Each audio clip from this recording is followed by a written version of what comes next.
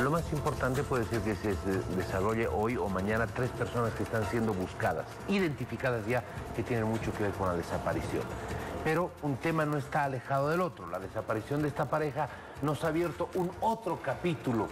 Eh, casi de manera paralela nos ha abierto un capítulo del que tenemos que ser conscientes, que es el mercado negro de los celulares. Mayor, gracias por estar acá con nosotros, jefe de la División eh, Propiedades de la Fuerza Especial de Lucha contra el Crimen el mercado negro de celulares es tan peligroso que ahora nos está abriendo los ojos. Se mueven miles de bolivianos al día. Bueno, definitivamente, saludar a la teleaudiencia de a la familia policial. La policía está tomándose muy en serio esta actividad delincuencial como es el comercio de celulares robados. Eh, hace un par de días hemos realizado un exitoso operativo donde hemos secuestrado más de 400 celulares. Estamos hablando de 15 iPod, 18 entre laptops, notebooks. Y pues definitivamente nos damos cuenta de una realidad que nos llama la atención fundamentalmente como jefe de división. Me he percatado que aproximadamente el 50% de la totalidad de los casos que atiende mi división están vinculados al robo o al hurto de celulares. Ahora, ¿de qué ha emergido este operativo? Definitivamente eh, estamos hablando de un mercado que implica la oferta y la demanda. Y cuando existe oferta, cuando existe demanda, cuando la población tiene esa mala cultura de adquirir celulares a mitad de precio o quizás a menos, evitando comprar de manera legal y con factura, estamos en problemas.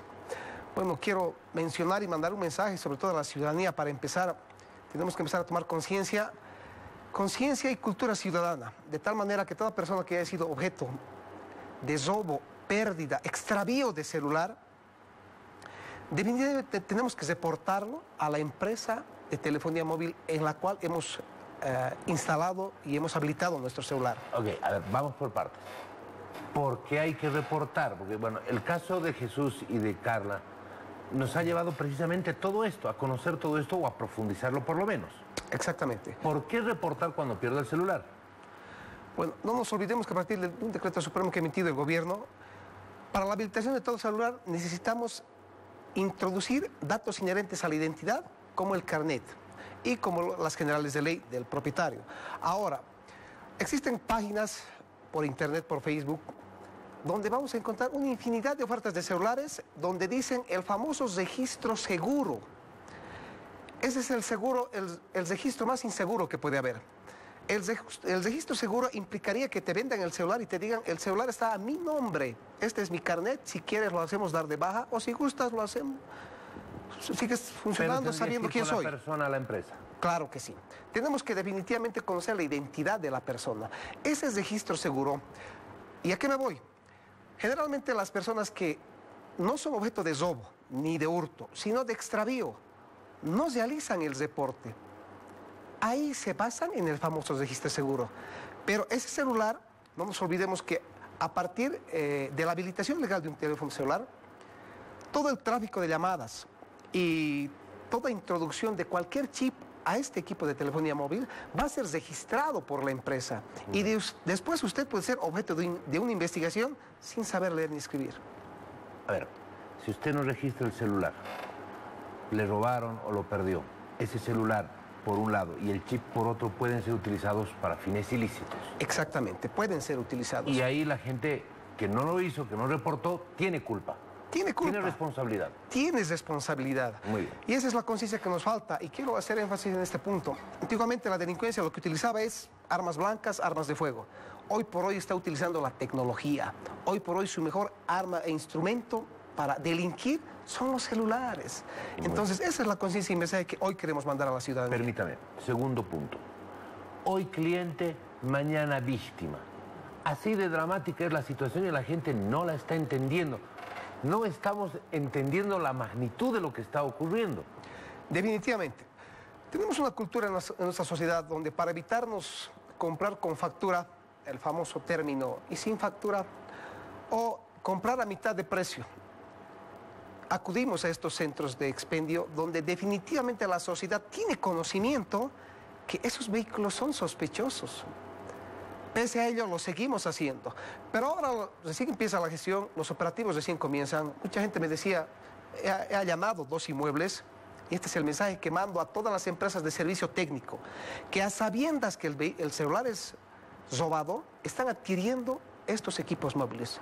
Tenemos dos personas aprendidas que lo más seguro es que van a... a- el Van a juez va a ordenar la detención preventiva donde alegan inocencia y dicen, mayor, yo compro, viene, me ofertan, ¿Qué ¿qué puedo hacer? Es mi necesidad, Pobrecito. es mi trabajo. Pero sepa usted que ahora vamos a realizar... ¿Qué pasaba? Había un fenómeno. La FELCCO o el DASI, cualquier unidad operativa, llegábamos al lugar, interveníamos y cesaban sus locales. Y no podíamos ingresar. Y ellos tenían campanas, tienen cámaras de circuito donde impedían nuestro trabajo. Ahora sepan ustedes que vamos a operar con orden de requisa, secuestro y allanamiento de todos esos domicilios y lugares donde se está produciendo esta actividad ilícita. Este es el primer mensaje a las personas que trabajan sabiendo que están adquiriendo cosas robadas. Segundo, hablando del flaseado. El flaseado implica la reinstalación del sistema operativo.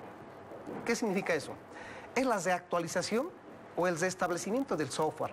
Entonces hacemos perderle la identidad al equipo celular. Ahora, ¿qué es importante que la sociedad conozca? A partir de la compra de un celular, llámese entre comillas sospechoso, tenemos que verificar la coincidencia de los datos específicos del email, que es como su certificado de nacimiento, como la huella digital de todo equipo celular. La coincidencia entre el email físico con el lógico. Me explico. Físicamente el email, usted le destapa la batería, dice email y tiene una numeración. Prende el celular y tiene otro código email. Sepa usted que 100% ese equipo es robado. Claro, por supuesto. Bueno, eh, es importante este anuncio que está haciendo la Fuerza Especial de Lucha contra el Crimen. Hagan los operativos, detengan a la gente que tienen que detener y que se corte este mercado negro de los, de los celulares. Y a los flasheadores, y a los equipos, y a los talleres técnicos, que no son otra cosa que lugares donde se están receptando los equipos robados, también hay que hacer los operativos eh, mayor. Tienen ustedes todo el respaldo. Y la gente tiene que empezar, por supuesto, a tomar conciencia que si está comprando un equipo robado, ese equipo puede haber sido obtenido con muerte o con lesiones. Y que además está fomentando que la próxima víctima puede ser usted o puede ser su hijo, al que asalten, al que roben o al que maten por comprar estas cosas. Le agradezco mucho por haber estado acá con nosotros. A ver si vamos agarrando conciencia. Seguimos.